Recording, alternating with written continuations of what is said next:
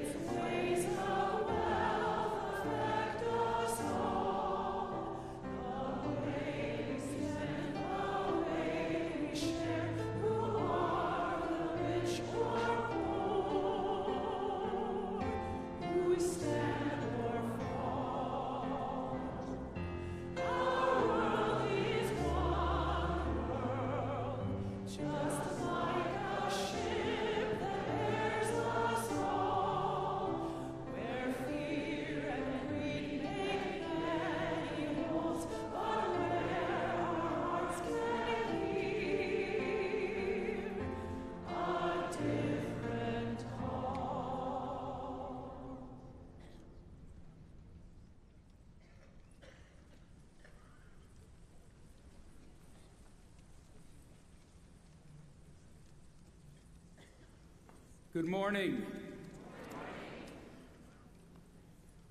I'm going to introduce myself in a little bit. Right now, I am lending my voice to Rochelle Strother, a member of the Unitarian Universalist Church of Spokane, who late last night developed laryngitis.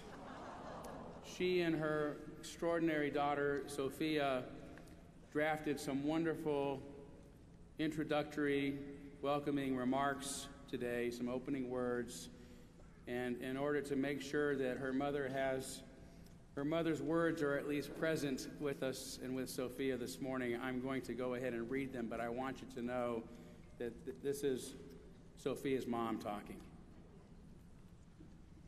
Thank you for the opportunity to join you this morning. My name is Rochelle Strother. I'm a member of the Unitarian Universalist Church of Spokane, and I am here with my daughter, Sophia. My name is Sophia Okumu, and I am 10 years old, and I have been attending the UU Church of Spokane with my mom since I was four years old.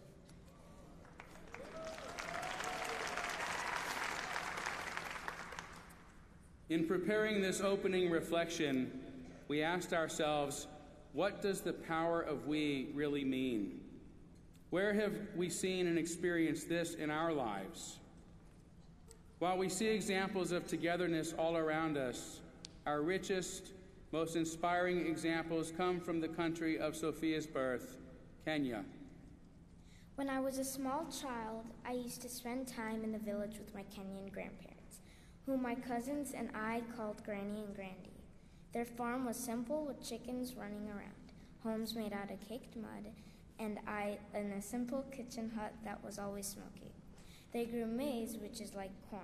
sorghum, beans, and many different types of vegetables. Granny and Grandy had been teachers, and though they were not poor, they were certainly not rich. Still, they shared everything they had with everyone they knew. They took in children who had nowhere else to go, raised money for local children to go to school, and fed everyone came, who came to their home. Even if it seemed like the food would be too little to feed everyone, Granny would say, We will share the little that we have. That is the Kenyan way. Sophia's granny and grandy had 10 children, and like many Kenyan families, the oldest child was expected to support the other siblings. Their oldest child, Benson, did well enough in school to get a government scholarship to university. And after graduating and becoming a teacher, he sent most of his salary home to his parents so they could pay school fees for the other children. After Benson's next sibling, Lillian, got through college, she did the same for her younger siblings, as did each one after another. All 10 of Granny and Grandy's children went to college or university and have supported siblings, nieces, nephews, and cousins to attend school as well. But this practice is not just for their family, this is simply the Kenyan way. Kenyans are always helping each other out. When someone passes away, neighbors and friends contribute money to the family members so that they can hold a really nice funeral for their loved one. When kids are getting ready to go for high school or college, but their families don't have enough money to pay for the school fees, friends and well wishers will organize a harambee for them, which is like a fundraising party. For decades, Kenyan women have even been supporting each other's businesses by what they call merry-go-rounds, systems in which women pool their money to help each other on a rotational basis. So, what does the power of we really mean? In Kenya, it means we are stronger together. It means that no one is an island, everyone is part of something bigger.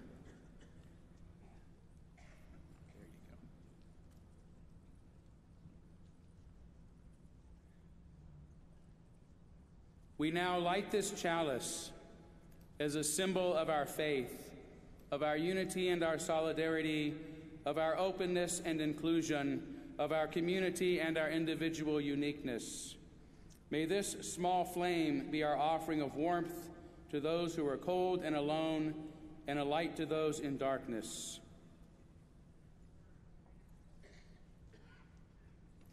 May it be a flame that ignites justice in our world and a beacon of hope to those in need. And may it reflect at least a spark of truth wherever truth has been lost, and to cast a healthy shadow of doubt wherever it's been found.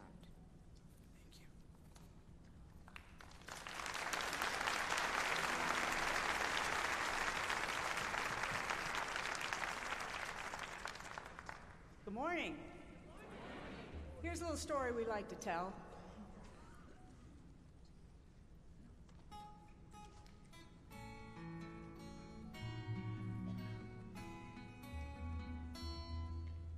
I walk along the shore to watch the seabirds soar. Listen to the waves caress the sand. Whether it's rough or calm, those birds keep circling on. Ancient, steady sentinels over land. A single drop of dew shining on a leaf brand new, reflecting every wander around. The grass,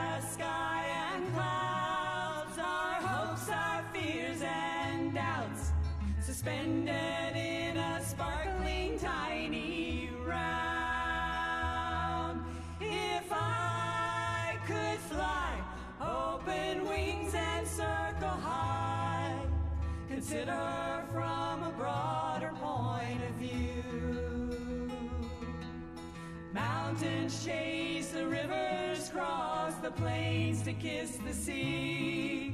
We're only bits of stardust, you and me.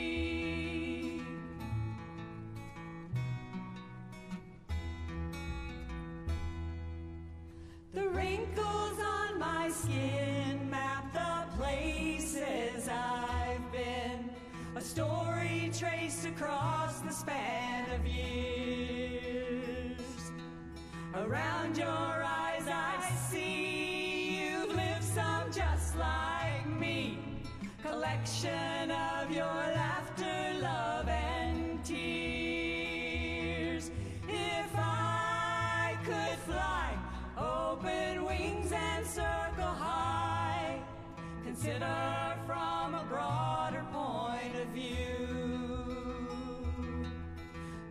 Mountains chase the rivers, cross the plains to kiss the sea.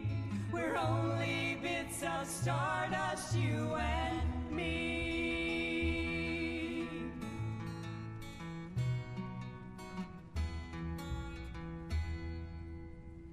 Every blade of grass, those birds, your dogs, your cat.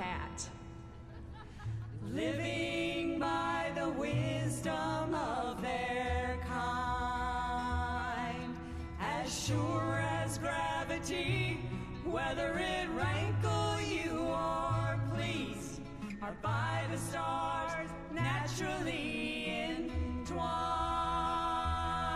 If I could fly,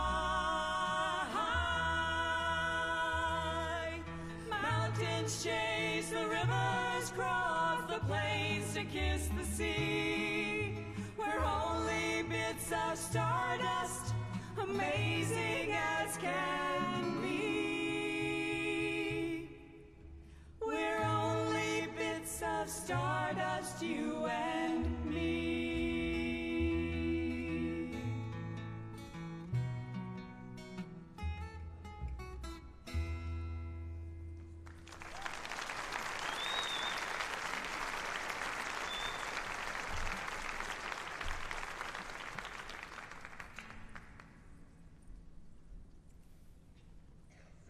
Planted by hands, like everyone you see on stage here this morning, are locals from Spokane.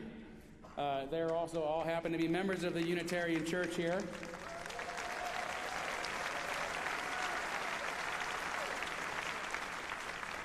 So, this morning is the Spokane service, and we are so delighted to be able to be here with you.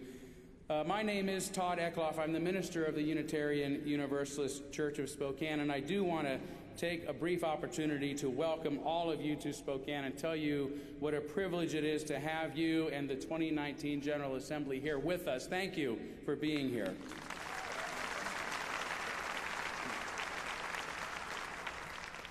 It is my great pleasure and honor to introduce to you a dear friend of mine, the Reverend Happy Watkins, who retired two years ago after serving Spokane's New Hope Baptist Church for nearly three decades.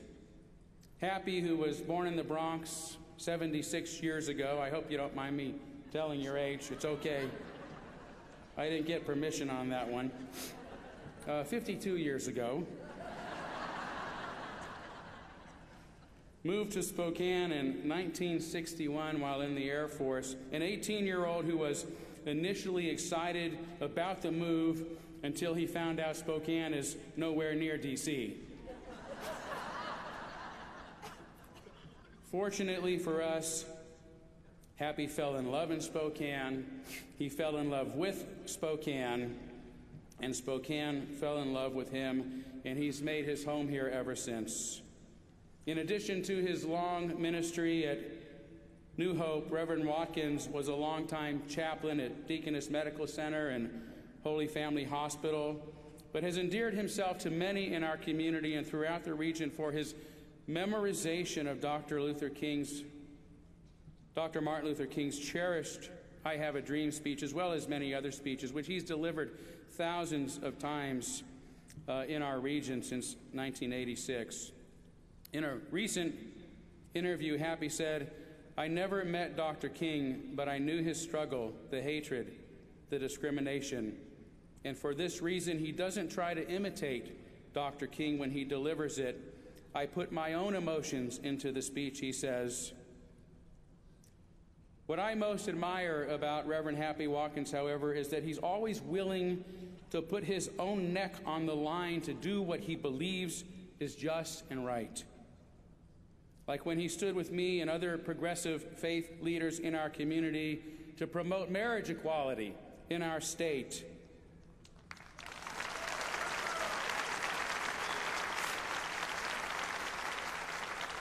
And later to legalize marijuana, which has since cut the number of police stop and searches in half in Washington.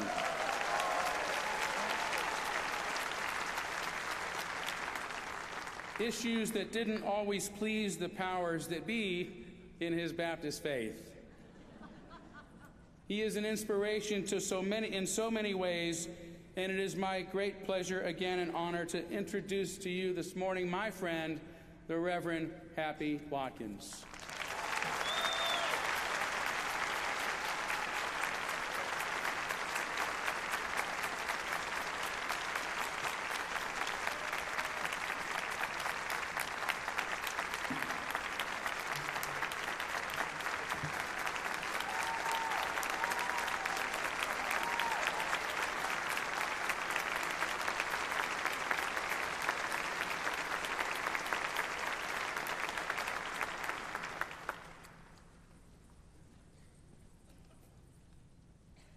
Eight years ago, I was minding my business. I was in my Baptist box. And I thought I was doing a pretty good job. Then someone introduced me to Todd.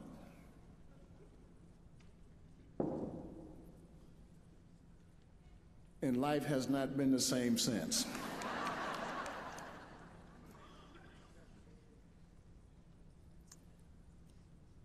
It was Martin Luther King that said these words I have the audacity to believe. People everywhere should have three meals for their bodies culture and education for their minds, and dignity, equality, and freedom for their spirits. The ultimate measure of a person is not where they stand in moments of comforts and conveniences, but, but where they stand in moments of challenges and controversies. So I met this Todd fella at the Spokane Unitarian Universalist Church. And I had to go, when I did come, once every six weeks, I had to go to both services. And I'll tell you why. He's so deep is that I couldn't get that first understanding at the nine o'clock service. so I went to the 11 o'clock service. I didn't get it all, so then I had to call him during the week. Todd spent a lot of time with me as a Baptist pastor. And I sat in his office, and boy, he is deep. Now, this other stuff, he always invited me to panels, marijuana stuff, equality in marriage, smart justice. He would call me and say, Happy, come down. I've there's a political party that we need to oppose. Just come. He took his time with me. And let me tell you something, my, as you might know, may not know, I had a small church. And we were in the process of trying to build. And I went to Todd and his congregation raised the first $5,000 plus. Y'all don't hear me. I wish, I wish I was on my east side where I'm from because people respond.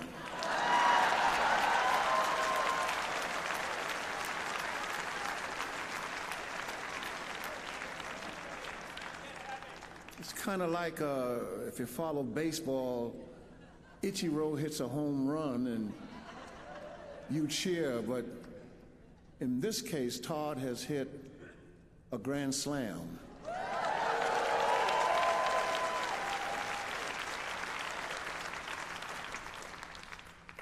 Then I have a friend of mine who was the pastor and the president of the Ministers Fellowship Union, which consists of mostly African American pastors. And it is I and he, we, have tried to get a great understanding about people and religion. And we've done a great job, not as complete, but we're almost there. And, and, and I say that because, I say that because if I could give an award, I wanted to go to this Todd fellow. He has helped me immensely.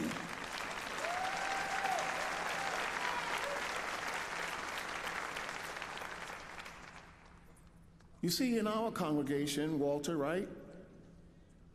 We, or the pastor, is it. We, we, we're at the top of the mountain. We're everything. But then I met this Todd fella, and he got me involved with all kind of issues. Some I understood and some I didn't understand. We, we, we held hands as the railroad was going across and some coal, and I didn't, I thought I was coal going to do, do good, and we had to oppose that.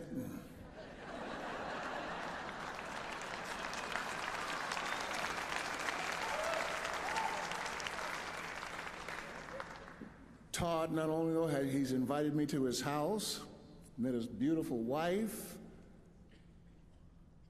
I want to say with a heart full of gratitude, I'm thankful for Spokane Church because they have helped me. And, and, and by the way, they're still sending donations a year or two after.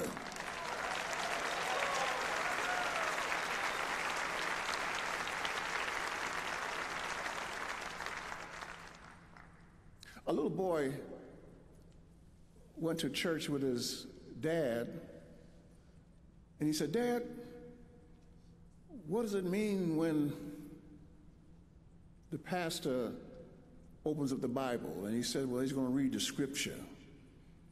What does it mean when he opens up the hymn book? Well, he's going to sing songs. And what does it mean when he take off his watch?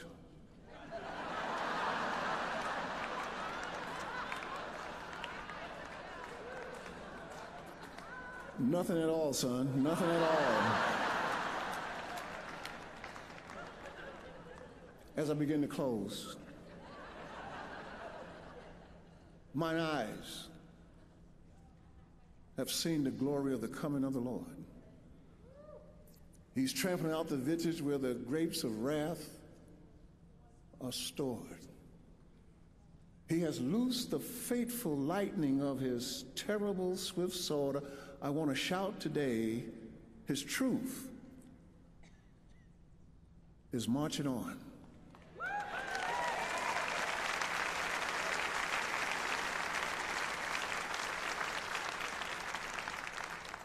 I want to tell this convention don't give up on us. We want a partnership, for there is power in the we.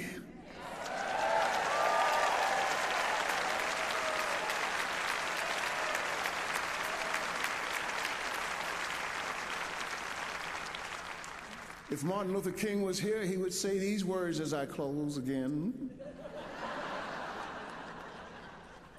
I sought my soul, and my soul I could not see. I sought my God, and my God eluded me. I sought Todd, and I found all three. Amen.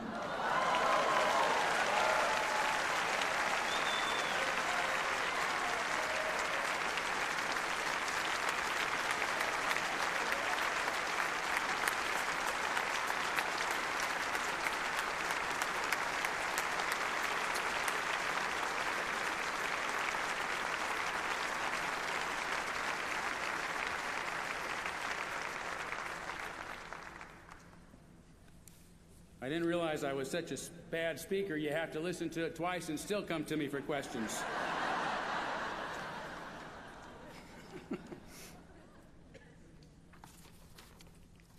All right, I've got to find our closing words here.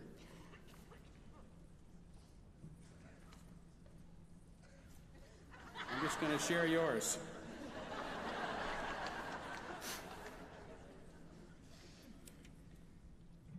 So, our, our closing reflection takes us back to Kenya. In 1977, a well educated woman from the highlands of central Kenya noticed how deforestation was leading to drought, poverty, and less biodiversity. She was compelled to do something about this problem, but knew that she could not do it alone. She obtained a small grant and began paying a group of women to collect seeds in the forest, plant them in tin cans, and replant them in deforested areas. These efforts continued on a small scale for five years until she received a much bigger grant that would allow her to compensate thousands of women for planting new trees. Forests began to rejuvenate all over Kenya. This woman was Wangari Maathai. She died in 2011 from cancer. Her tree planting initiative, known as the Green Belt Movement, has to this day benefited 9,000 women and led to 4, 45 million trees being planted across Africa.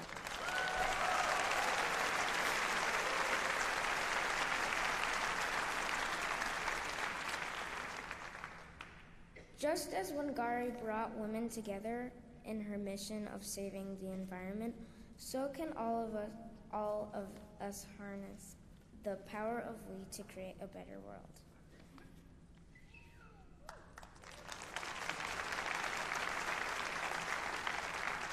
As the African proverb says, if you want to go fast, go alone. If you want to go far, go together.